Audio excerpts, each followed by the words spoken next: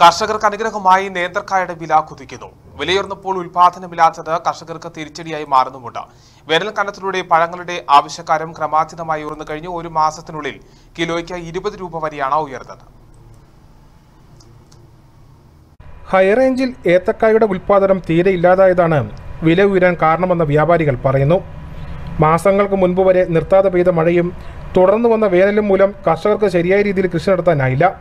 പാട്ടത്തിനടുത്ത് കൃഷി നടത്തുന്നവരും ഈ വർഷം കൃഷിയിൽ നിന്ന് പിൻവാങ്ങി. സാധാരണ കർഷകർ കൃഷിയിടത്തിൽ വീട്ടാവശ്യത്തിന് ഏത്തവാഴ കൃഷി ചെയ്തിരുന്നു. മഴ കാരണം ഈ വർഷം നടത്തിയ കൃഷി നശിച്ചു.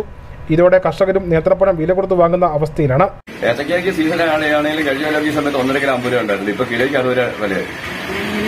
അത് കാരണം ഉൽപാദനം കുറഞ്ഞതാണ് കാരണം. വരവ് കുറഞ്ഞു. ഒരു കിലോ നാടൻ ഏത്തപ്പഴത്തിന് അൻപത് രൂപയ്ക്ക് മുകളിലാണ് ഇപ്പോഴത്തെ വില. ഓരോ സ്ഥലത്തും വ്യത്യസ്തമായാണ് വില ഈടാക്കുന്നത്.